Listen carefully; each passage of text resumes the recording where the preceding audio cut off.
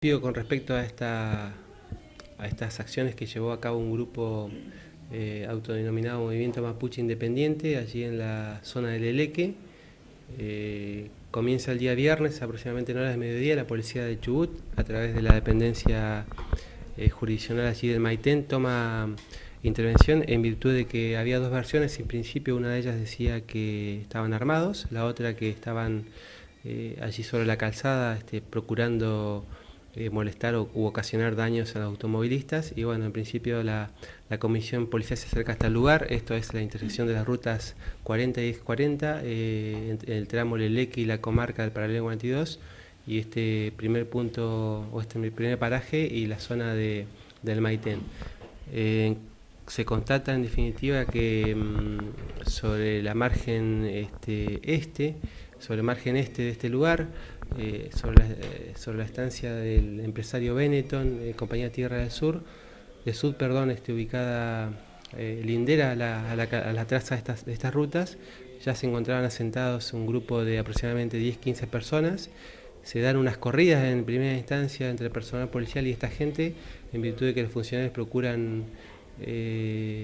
en la identificación de estos sujetos y también se tenía información de que estaban armados, se, eh, son repelidos por algunas este, agresiones apedradas y en definitiva se restaura rápidamente la normalidad porque una vez que se constata la ocupación de esta gente de esta parte de, la estancia, se circunscribe el lugar, se da intervención este, a la justicia, se ha formalizado este, posteriormente la denuncia por parte del administrador de, de las estancias eh, y luego de ello la policía solicita una orden de de allanamiento con el propósito de verificar la, ocupación en, sí y también establecer la, eh, la cantidad de personas y otras, este, eh, otros datos que son necesarios para la causa. Eh, en definitiva, todo transcurrió con normalidad el día viernes, con custodia policial en el lugar, y el día sábado, luego de las 15 horas, ya con orden judicial en mano, este, la cual se tramitó por fiscalía a través del doctor perdón, este, eh, por parte de la Fiscalía y fue extendida por parte del juez de garantía, doctor O'Connor.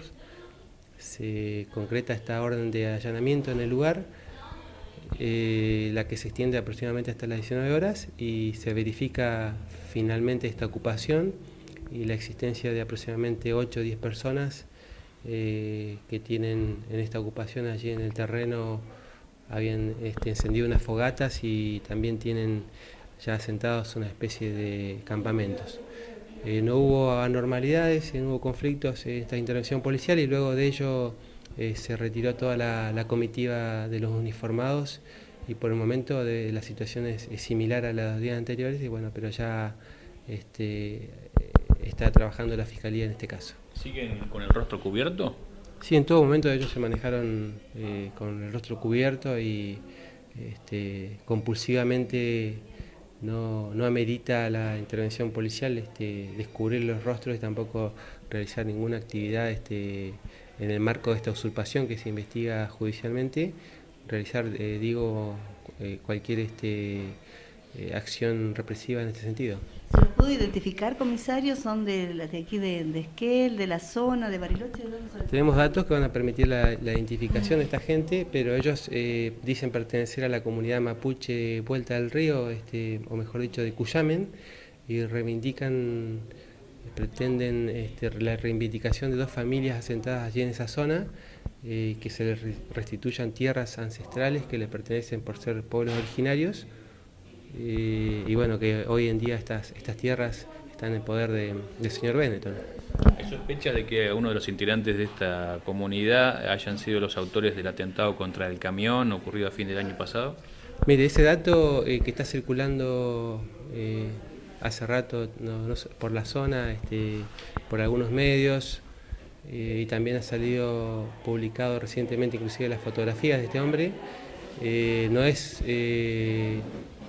no es menor. Eh, la Brigada de Investigaciones de la Policía del Chubut, er, luego del, incendio del camión acontecido en diciembre allí en la zona del Eleque, realizó una muy importante investigación que puso en manos de la justicia federal y en principio había intervenido la justicia ordinaria, pero finalmente está eh, en el ámbito de la justicia federal y este, hay elementos eh, sumamente interesantes que ha, han recolectado la, Brigada de Investigación de, de la Policía del Chubut, reitero,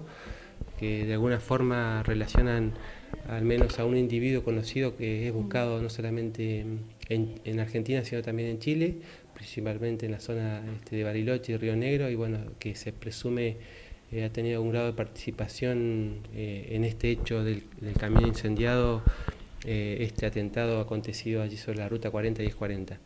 Eh, después este, son eh, todas versiones que lo ven eh, por acá, por allá, pero a ciencia cierta aún no ha podido ser individualizado en ninguno de estos lugares luego de este hecho, este, reitero, del camión. Y el día de la diligencia de allanamiento, bueno, no se encontraba en ese lugar, este, por lo menos ostensiblemente.